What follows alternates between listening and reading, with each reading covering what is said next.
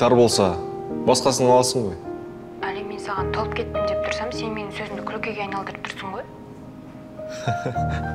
Жарайды жарайды күлмеймін уәде беремін. Айтпақшы анамның тоқымасы қалай болып жатыр? Зәуре жарқынбекқызының ондай өнері барын білмеппін. Демек апамды дұрыс білмейтін болып тұрсың.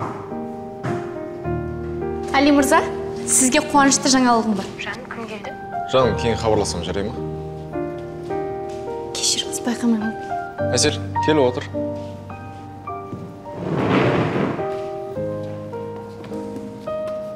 ал айта бер құлағым сенде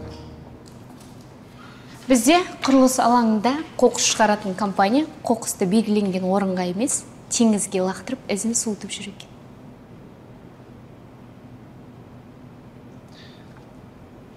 әсел түсінбедім бұл жаңалықтың қай жеріне қуану керекпін екінші бетін ашыңызшы. Шағын компания роуз деп аталады. Оның иесі раушан кенжебекова. Раушан? Иә. Біздің еш міні жоқ мұхит мырзамыздың жұбайы.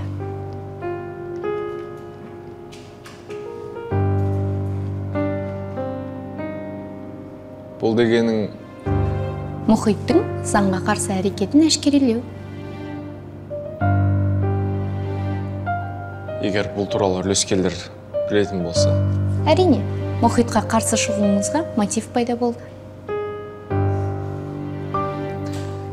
Әсел жарадым. Саған осы айда сыйақы беремін. Әли мырза. Мен оны ақша үшін жасаған жоқпын ғой. Білемін әсел бірақ кез келген еңбек марапатталу керек.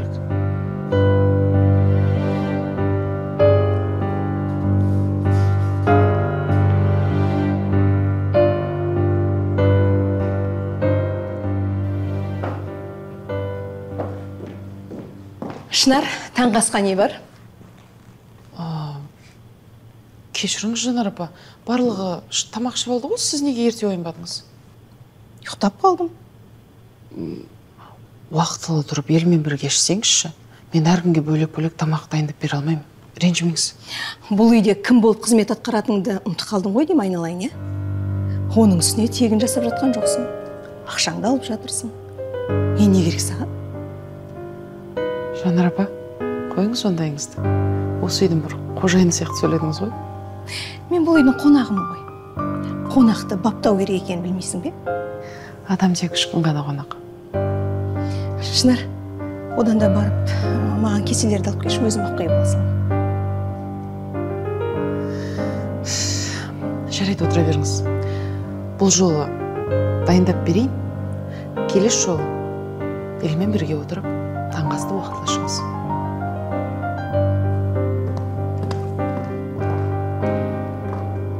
көрерміз әлі мені кім деп жүрсің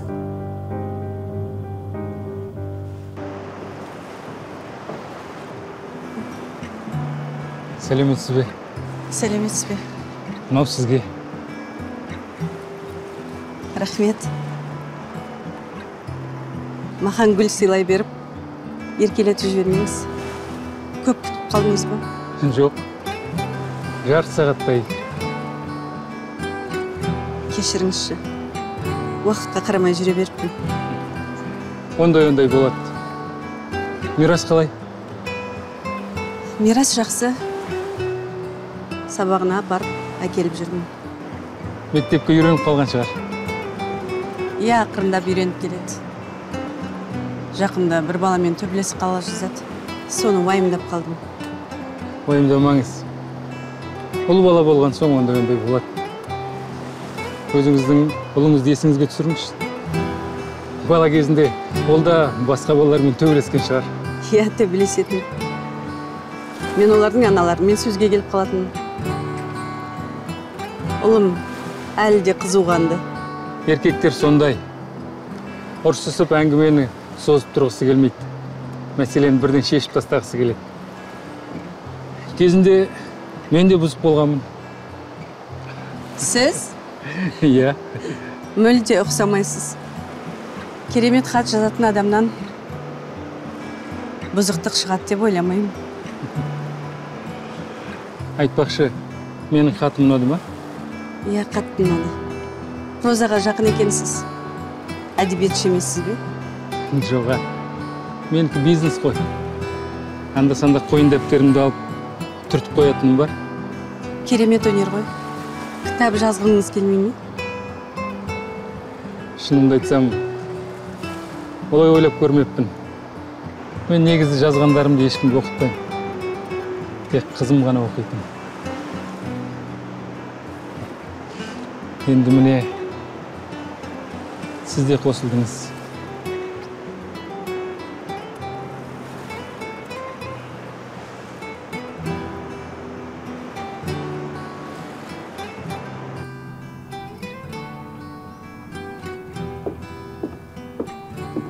толқынжан саған шырын алып келдім. Жанар апай несіне әуре болдыңыз?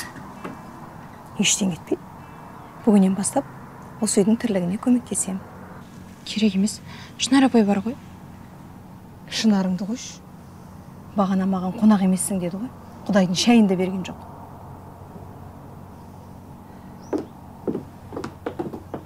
Толқын түскі асқа не жегің келеді? Адам сияқты ет салсайшы. Қамырын қолдан жайып. Жанар апа бұл жерде аяғы ауыр толқын сіз емес. Жай жай қалжыңдап жатырмын. Не болды соншама? Маған бәрібір көңілдеріңіз не қалайды соны жасай беріңіздер. Толқын көрдің бе қалай қалай сөйлейтін масқара. Жанар апай тоқтай тұрыңызшы. Шынар апай не болып кетті? Толқын ренжімеші. Бірақ соңғы кезде жанар апа оғаш көрсетіп жүр. Өзін қонақ емес осы үйдің қожайыны сияқты ұстайды. Негізі ол кісілер қашанға дейін бізде болады? Шынар апай мен онымен сөйлесуге уәде беремін. Бірақ сіз де ол кісімен сабырлық танытып сөйлесіңізші. Не дегенмен менің туысқандарым ғой. Жарай ма?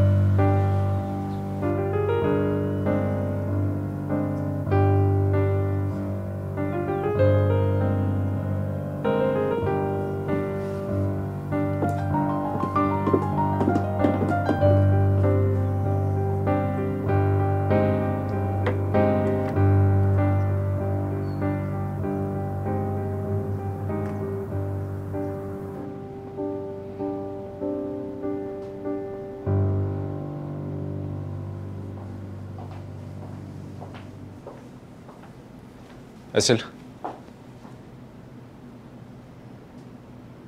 әсел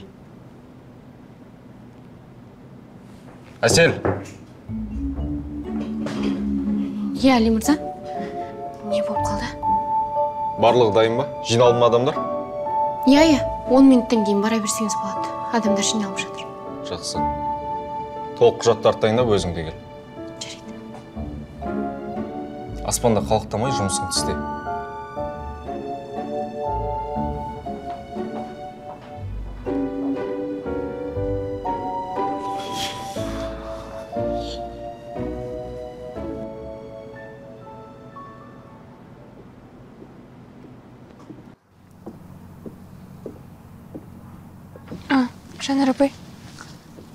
жақсы болды сізбен сөйлесейін деп едім.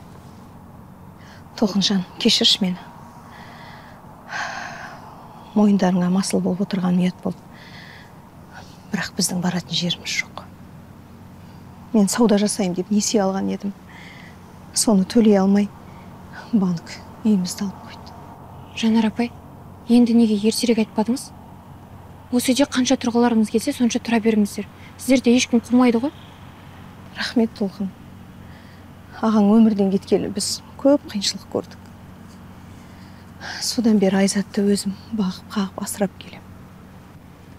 Тағы қандай көмек керек? Толқын үйде отыра бергім келмейді. Сенің дүкеніңде бос орын бар ма? Негізі бос орын жоқ. Бірақ сізге бірдеңе ойластыруға болады. Қарапайым сатушы болсам да бола береді. Үйде жатып ішер болғым келмейді. Олай демеңізші жанар апай. Осы үйде еркін өз үйіңізде жүре беріңіз. Сосын сізбен шынар апай туралы сөйлесейін деп едім. Айта ғой. Жанар апай шынар апаймен сәл жұмсағырақ сөйлесесіз бе? Осы үйдің қызметшісі болғанымен бізге туысқандай болып кетті. Дұрыс қой. Бірақ өзің көрдің ғой қалай қалай сөйлейтін. Қалай сөйледі мен солай жауап бердім. Жарайды. Шынар апаймен де сөйлесемін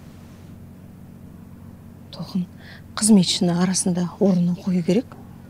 Мақтай берсең басыңа шығып кетеді. Айзаттың сабағы қалай болып жатыр? Жақсы. Айтпақшы бір жігітпен танысыпты. Иә айтқан мәз болып жүр ғой. Менің арманым айзатты оқуын бітіртіп жақсы жерге күйеуге беру. Барлық аналардың арманы сол ғой. Әрине қазір күйеуге тию қиын болып кетті ғой. Уайымдайсың. Қазіргі қыздар ұзақ жүріп алады. Біздің кезімізде қыздар 20 жасында күйеуге тиетін. Сол кездегі 25-тегі қыздар кәрі қыз атанады. Қазір заман басқа адамдар да басқа. Дұрыс айтасың.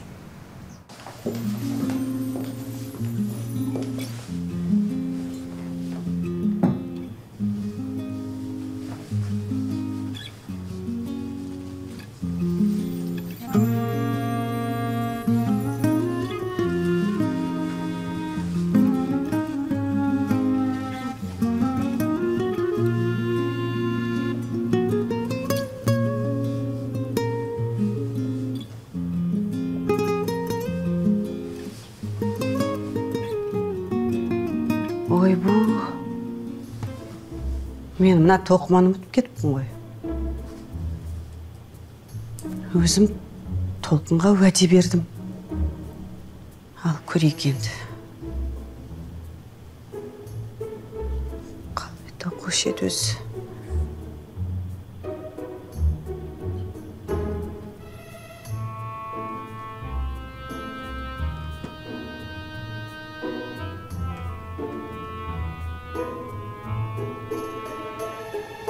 шынар сен не істеп жатсың бөлмеме келші.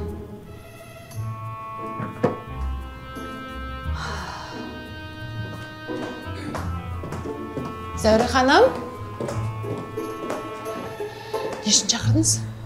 Уай уай. Сізді енді мынандай заттармен көрген қызық екен. Шынар отыршы. Сен тоқыма тоқи аласың ба? Не тоқу керек балаға жамылғы толқынға саған тоқуға болмайды деп алып алдым да өзім тоқып берем деп енді отырмын бетіне қарап қалай тоқушы еді мен мектеп кезінде ғана еңбек сабағында сәл үйренгенім бар бірақ тоқыма тоқи алмаймын ау енді қайтты ма мен толқынға уәде бердім зәуре ханым қазір ютуб желісінен барлығын табуға болады ғой. Сол жақтан көрейік. Иә сөйтейік.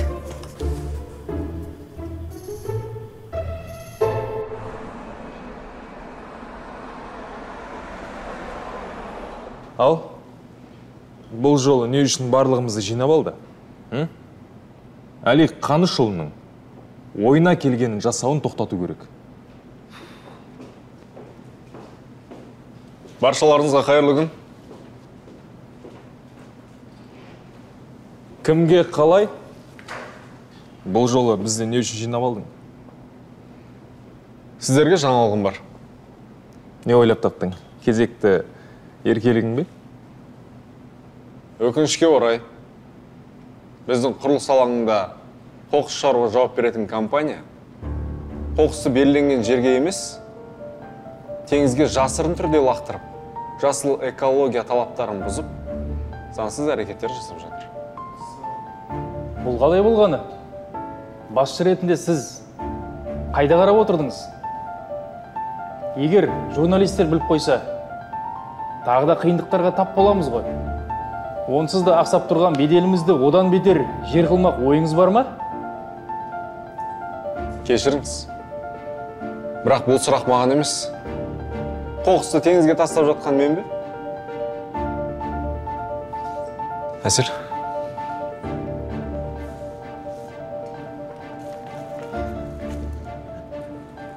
алдарыңызда тұрған құжаттарды қарап шығыңыздар. Екінші бетін ашсаңыздар қоқыс шығаратын компанияның басшысының есімі көрсетілген. Раушан кенжебекова. Бұл жерде бір қателік кеткен. Ешқандай да қателік жоқ. Барлық айдан анық егер сіздер раушан кенжебекованың кім екенін білмесеңіздер онда таныстырайын. Раушан кенжебекова өздеріңіз сайлап жақтап таңдап алған төрағаларыңыз мұхит кенжебековтің жары. Мұхит мырза бұл қалай болғаны? Әріптестер уайымдамаңыздар мен өзім шешемін бәрін. Оны ертерек ойлану керек еді. Әйеліңіз басқарып отырған немесе қалай десем екен? Әйеліңіздің атына жазылған бірақ өзіңіз басқарып отырған компанияның мүмкін қаражатын үнемдеу үшін осылай жасаған боларсыздар. Артық кетпейік әли мырза. Мен әр сөзімді саралап тұрмын. Ал сіз? Әр ісіңізді ойланып жасауыңыз керек еді.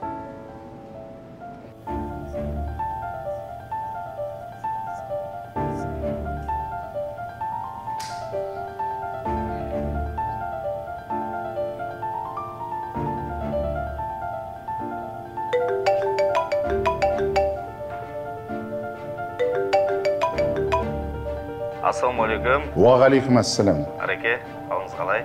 Рахмет. Жақсымыз өздерің. Сіздікіндей қызық емес қой. Қаланы қылмыскерлерден тазартып жүрміз сол. Жарайсыңдар.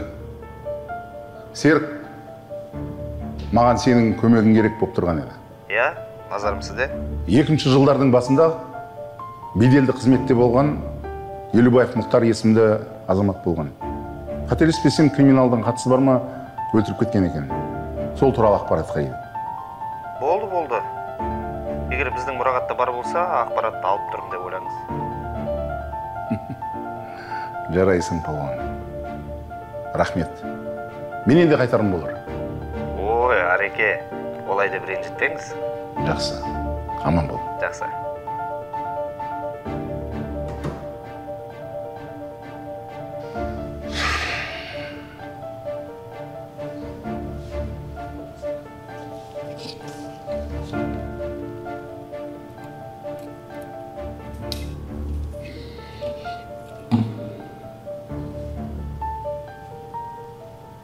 Сақтықта қорлық жоғармын. Айтып отырмын ғой әріптестер уайымдамаңыздар. Мен бәрін өзім шешемін. Келесі жолы мұндай қателіктерді жібермеуге тырысамын. Жақсы. Сіздің бұл қателігіңізге көз жұмдық делік. Бірақ ә, менде бір сұрақ болып тұр. Құрметті әріптестер сіздердің мен үшін ойларыңыз маңызды. Өздеріңіз айтыңыздаршы. Кішкентай ғана компанияны қадағалай алмаған адам. Компанияның қызметкерлерін қадағалай алмаған адам BGA Development'тің төрағасы болуға лайықты ма? Бір қателік жібердім екен деп мені жұмыстан шығармайтын шығарсыздар. Мұхит мырза біз компаниямыздың беделіне нұқсан келтіре алмаймыз. Дұрыс айтасыз. Дауысқа салайық. Төрағалық қызметте мұхит мұхтарұлы қалсын дегендеріңіз қол көтеріңіздер. Үш дауыс. Ал егер әли қанышұлын төрағалыққа қайта сайлаймыз дегендеріңіз қол көтеріңіздер. Жеті дауыс. Әли қанышұлы төрағалық қызметіңіз жемісті болсын. Бұл жол қателікке бой алдырмауыңызды сұраймыз. Сенімдеріңізге алғысым шексіз. Үміттеріңіз ақталады. Сөз беремін ал әріптестер жиналысымыз аяқталды. Келгендеріңізге рахмет. Сау болыңыздар.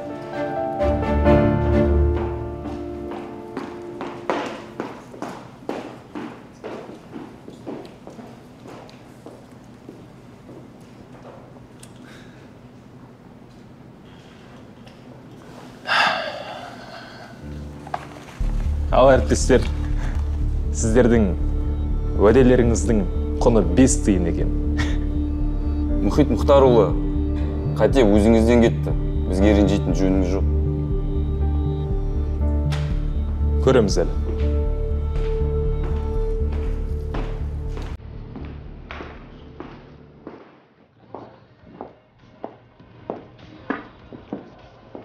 Сәлеметсіз бе толқын ханым? Жанар апай? Қазір онда мен сізді жұмысқа орналастырып ары қарай мирас екеуміз қыдыруға барамыз. Жарайды толқын ашқан дүкенің осы ма? Иә иә. Қандай жақсы жерде орналасқан? Өзің аштың ба әли көмектесті. Менде мұндай ақша қайдан болсын? Әли нағыз ер жігіт. Отбасын асырайды көмектеседі саған. Арам тамақтар көп қой. Жын кетті сондайлар. Жанар апай арам тамақ деген не? Мирас арам тамақ деген жатып ішерді айтады. Жатып ішетін адамдар ма? Иә тамақ ішеді ұйықтайды. Ұйықтап тұрғаннан кейін тағы да ұялмайды тамақ ішеді ғой. Сондай мирас? Қош келдіңіз толқын ханым. Рахмет алма. Қалдарыңыз қалай? Сауда қалай болып жатыр? Жақсы рахмет. Кеше адам көп болған. Үлгермей кеттік. Онда сіздерге жақсы жаңалығым бар. Қандай? Танысып қойыңыздар жанар апай. Тыңдап тұрмын. Әлі ақ бәрін көріп үлгересіз ғой. Танысып қойыңыздар менің апам жанар. Алма біздің дүкеннің басқарушысы. Танысқаныма қуаныштымын. Мен де қуаныштымын. Жанар апай енді сіздермен бірге жұмыс істейтін болады. Жарайды. Алма барлығын өзіңіз үйретесіз ғой. Адамдармен қалай сөйлесу керек екенін киімдерді қалай қою керек екенін бәрін өзіңіз білесіз ғой. Жарайды. Жарайды онда мен бара берейін. Аман жүр айналайын. Сау болыңыз сау болыңыздар. Жүр мирас жанар ханым жүріңіз менімен дүкенді көрсетейін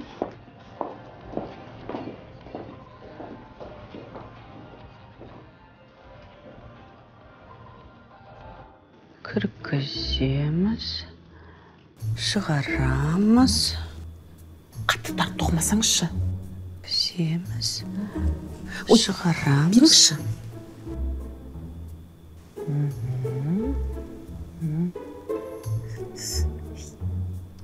Әкелші өзім. Сен де жетістіріп тоқып тұрған жоқсың. Бостау қылып тоқыңыз бостау қылып туй. Неге менікі шықпай жатыр? Ол енді мынандай қылып жасау үшін тәжірибе керек қой. Енді тоқымам қолыма алмас менің де қолымнан келмейді екен. Жасым болса елуге таяп қалды. Қарап көрсек қалай болады? Осындайлар толып тұр ғой. Тапсырыс бере саламыз. Бағанан бері неге айтпайсың? Қаншама уақытымызды жоғалттық.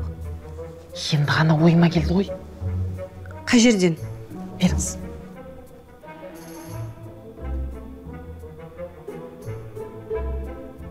Міне дәл өзі. Дәл осындай түс пе? Иә. Әдемі екен иә қане хабарласып тапсырыс бер. Үйге жеткізіп берсін. Қазір. Бергіші иә осыны әке өтінемін еміңізді тоқтатпаңыз. Балам.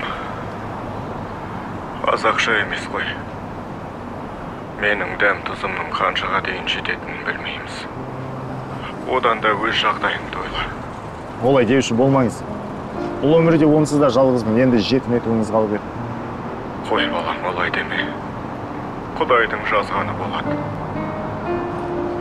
әке жақында тағы ақша жіберемін егер еміңізді тоқтататын болсаңыз. Балам сен сонша қаражатты қайдан алып жатырсың? Жұмыс істеп жатырмын. Балам мені құтқарамын деп біреудің ала жібін аттап жүрме. Жоқ деймін неге бірден жаман ойлайсыз? Енді сен алаңдап жатқаным ғой. Адамға жасаған қиянаттың өзіңе қайтып келетінін ұмытпа. Әке анам қалай? Дұрыс тамақтанып жүр ме? Екеуміз де жақсымыз. Сенің арқаң жаратқанға өзіңдей перзент нәсіп еткеніне шүкірлік етемін жарайды әке. Емделіңіз. Мен жұмысқа кеттім.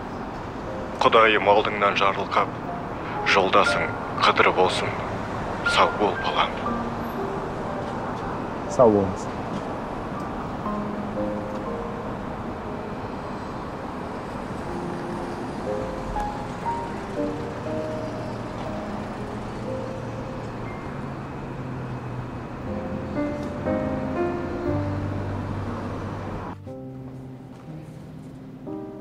Елубаев мұхтар хасенұлы көрейік.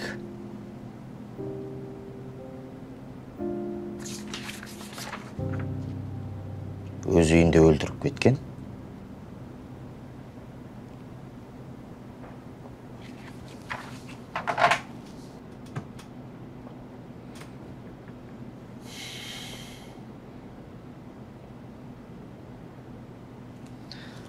Мен сұратқан құжаттар не болды? Тездет.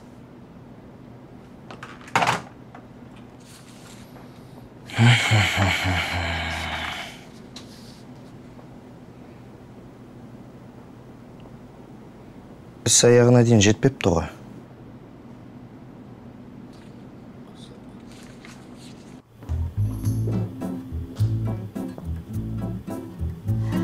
Мынау саған таңертең алған тоқыманы тоқып тастадым. Сәкең тапжылмай отырып тоқтатқан мен көмектестім. Апа қандай әдемі. Мен бұлай тоқи алмайтын едім. Апа рахмет сізге. Балапаным дүниеге келгеннен кейін аяғынан тастамай кигізетін бол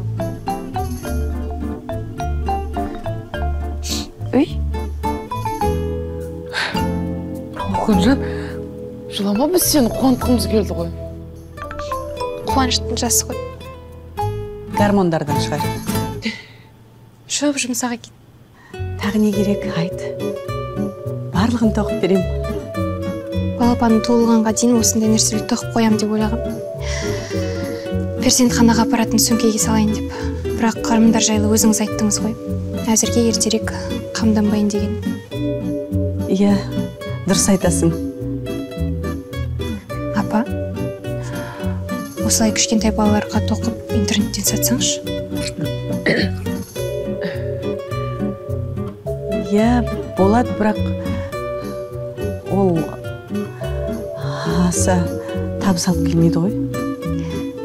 Жай қызығушылығыңыз болса дегенім ғой. Қатты қызығушылығым жоқ. Мен дүкеннің атын қалай қоятынымызды білемін. Зәке және оның тоқыма заттары. Иә апа қаласаңыз дүкен де ашып қояйық жарайды ойланып көрейік.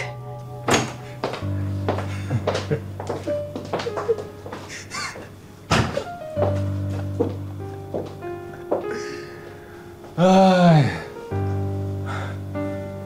Төрағаның орнынан айырылып қалғаныңа ашуланама десем қайта қуанып тұрған сияқтысың ғой.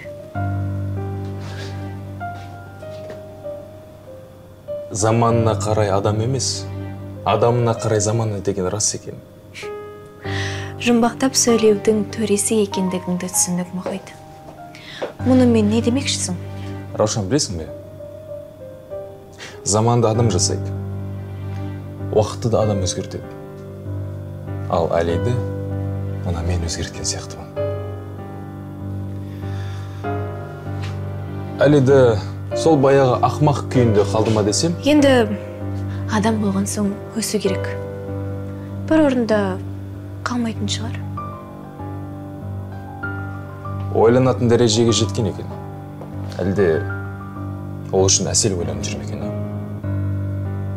ұсақ түйек заттарға бас қатырмай жүрсем ол менің қателігімді тауып елдің көзінше бетіме басты. Ол аз ба? Билігімді де тартып алды сонымен ары қарай не істемекшісің? Оны күшіне енбей тұрып өзіне деген сенімділігінен айыру керек. Мұхит артық қыламын деп тыртық қылып жүрме.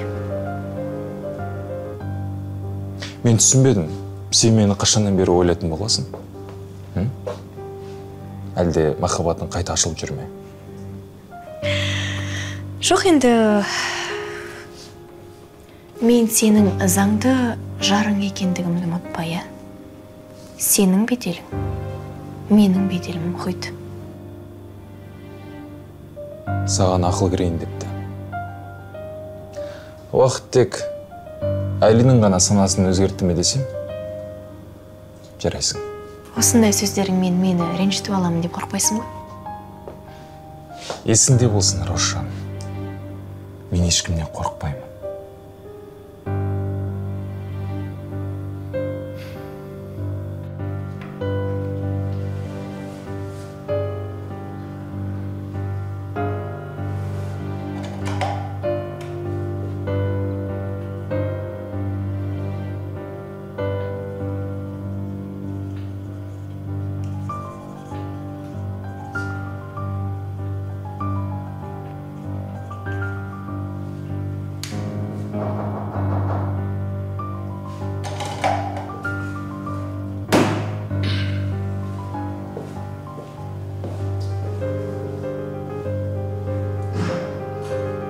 Ассалаумағалейкум қалыңыз қалай аға төрлет. Әреке бір ауыз сөзіңіз ғой бәрін зерттеп дайындап алып келдім. Ай палуан. Жарадың міне қараңыз. Дәл жүрек тұсына екі оқ тиген бірден жан тапсырған. Әйелі мен баласы куәгерлік еткен. Тоқта куәгерлік? Ол қалай сонда? Мұхтарды баласы мен әйелінің көзінше өлтіріп кеткен ғой. Егер куәгерлер бар болса істі неге аяғына жеткізбей жылы жапқан? Айтшы соны. Өлтірген адамдардың бейнесін ешкім көрмеген. Жұбайының берген ақпараттары бойынша олар үш адам болған үшеуі де қара бетперде киген.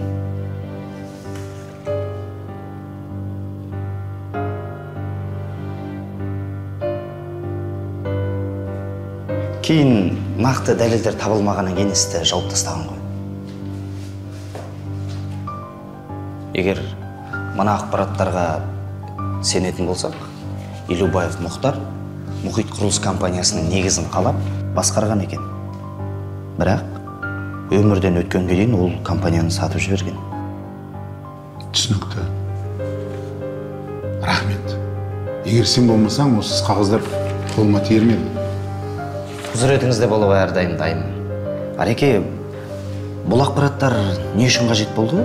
Ол маңызды емес. Бір адамның жеке тапсырмасы қызмет дейсіз ғой. Дәл өзі жарайды аға жақсы шай ішіп келдің жоқ рахмет жұмыстамыз жарайды сау бол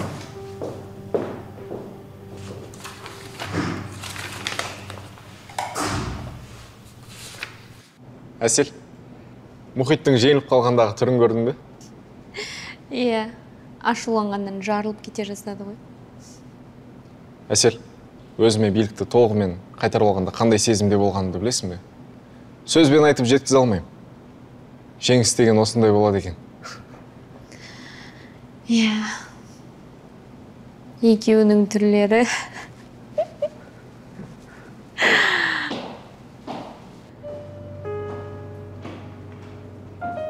Толқын сен мұнда не істеп жүрсің? Сәлеметсіз бе сәлеметсіз бе жаным хабарласпадың ба? Күтіп алатын едім ғой.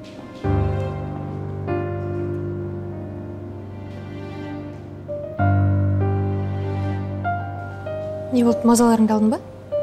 Мен кіргенде әңгімелерің жарасып көңілді отыр едіңдер мені көріп күлкілеріңді жия алдыңдар ғой. Жоқ жаным ол не деген? Мазамызды алған жоқсың. Айтпақшы әсел екеуің бір біріңді бірінші рет көріп тұрсыңдар ғой солай ма? Ендеше танысып қойыңдар. Әсел менің оң қолым. Толқын менің жан жарым әсел танысқаныма қуаныштымын мен де. Мен жұмысыма бара берейін иә жарайды.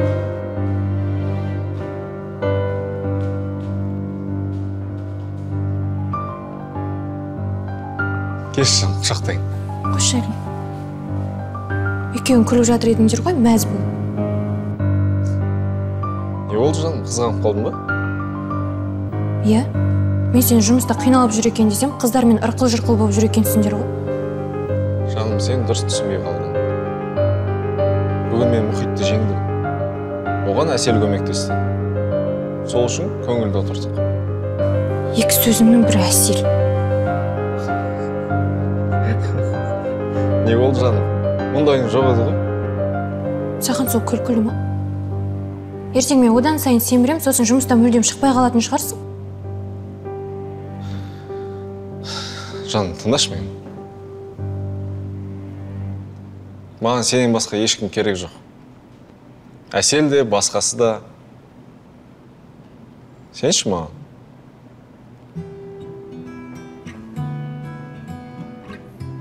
Кішкене басылдың ба?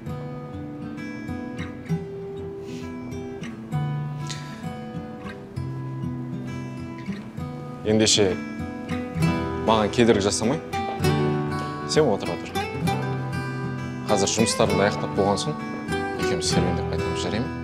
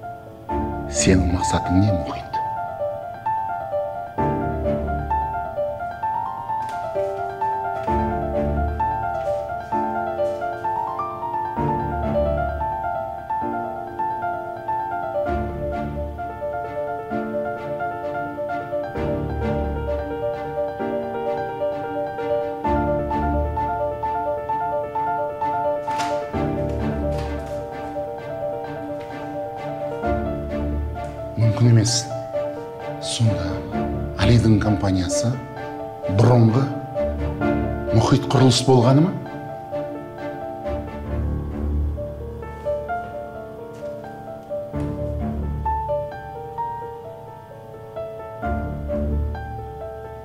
Смағұлов қаныш.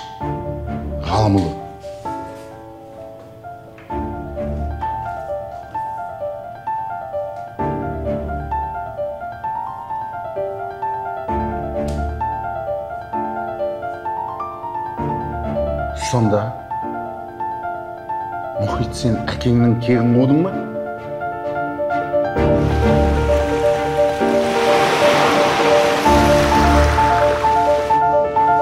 сыртқа шыққаным жақсы болды иә? Иә. Арасында сізді кездесуге шақырып тұру керек екен. Сол кезде қызғанбайтын шығарсыз. Әлде қызғанасыз ба? А? Ой қойшы саған кім қарайды? Жаным шаршаған жоқсың ба? Қаласам мейрамханаға барайық. Жегің келгеннің бәрін жейсің. Тек қарбыз сұрамасаң болды. Али! Қарбыз туралы неге айттың? Жегім келіп әрең ұштап жүрмін ғой. Жаным енді мен саған қазір қарбызды қайдан тауып беремін жаз шықсын аламыз. Қарбызды да қауынды да. Енді неге қауынды айтып тұрсың? Жегім келіп кетті. Али білесің бе? Егер аяғы ауыр әйелге қалағанын алып бермесең онда баланың аузынан су ағатын болады. Сондықтан балаңның аузынан су аққанын қаламаса онда маған дегеніңді алып бер оны қайдан естідің? Йогадағы әйелдер айтты. Онда маған қарбызды шетелден алдыру керек болды ғой.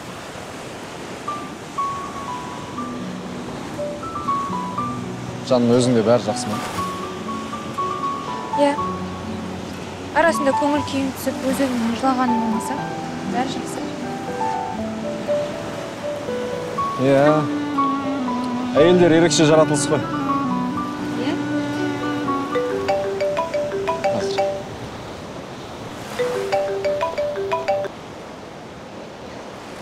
Иә. Ассалаумағалейкум ареке. Уағалейкум ассалам али. Қайдасыз? Кездесудемін. Али. Әйелім мен жүрмін айтсаңшы. Маған қазір келе аласыз ба? Қатты шұғыл ма? Мұхит туралы маңызды ақпарат пайда болды. Уақыт созуға болмайды. Иә түсіндім. Тыныштық па не болды? Бәрі жақсы. Жаным кешірші. Менің кетуім керек.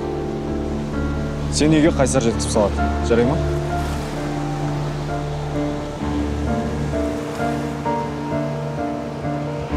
Қайсар?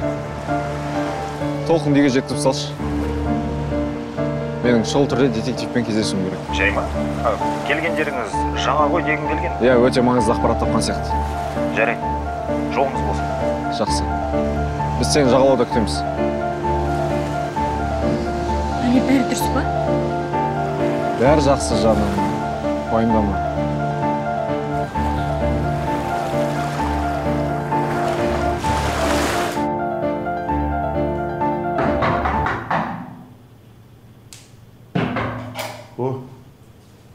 Али де келіп қалды жігіттер кімсіңдер сендер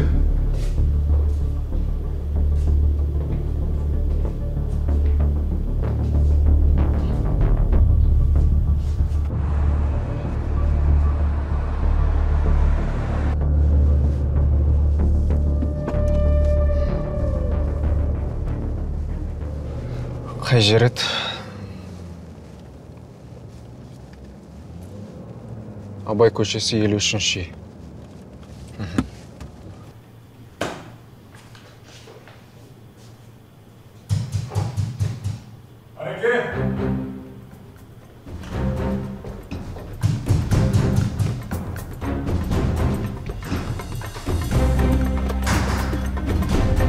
Hareket gidiyorsunuz be. Hareket.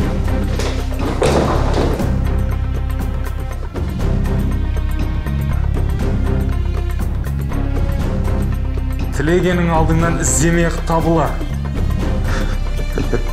эх әли мен ештеңе жасаған жоқ орға келіп түскен өзің. Әли әли.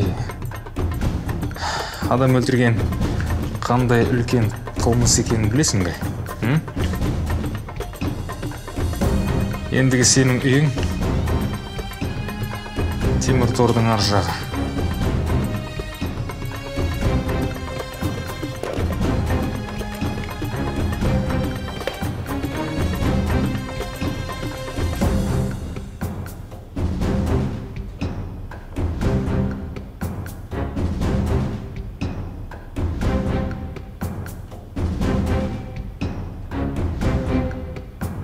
алло полиция мен абай көшесі 23 үйден хабарласып тұрмын.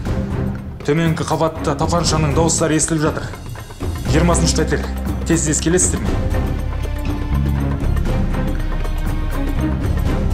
Мынаның көзін құрт. Ешқандай із қалмады ма қара? Жоқ. Тез кеттік.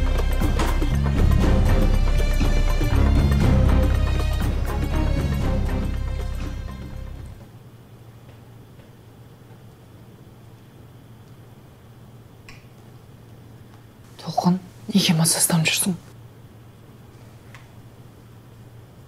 али бағана бір кісімен кездесуге кеткен енді жауап бермей жатыр. Жүрегім бірдеңені сезіп тұр. Жаман нәрсе болмаса болған. Уайымдамашы. Барлығы жақсы болады.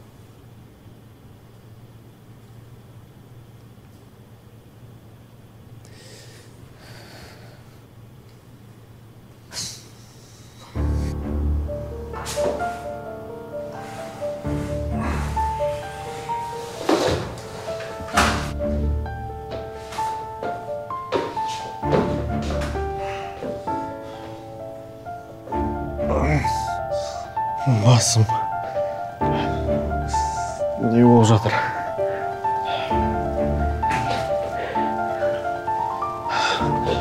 ареке тапаншаны таста қолыңды көтер